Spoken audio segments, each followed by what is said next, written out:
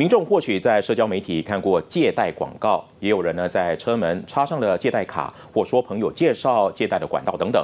烧腊业就一组叫做阿来的大耳窿，利用这些伎俩招揽了五百名的借贷者，涉及一百一十万利息的贷款。警方最近捣破了这个非法集团，十四名团伙落网。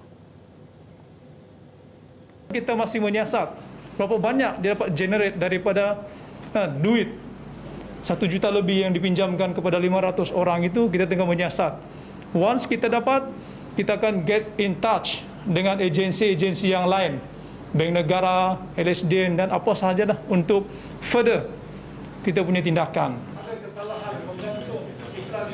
古晋警区主任阿斯蒙巴扎今早召开记者会上指出， 这组大耳窿在当地横行了五年。为了掩人耳目，大龙利用电器店或家私店的银行户头，将这些非法收款转入合法公司。警方两个星期前在古晋、三马拉汉和石龙门突击了六个住家和店屋，将十四名嫌犯绳之以法。他们将在一九五二年借贷法令第五之二条文接受调查。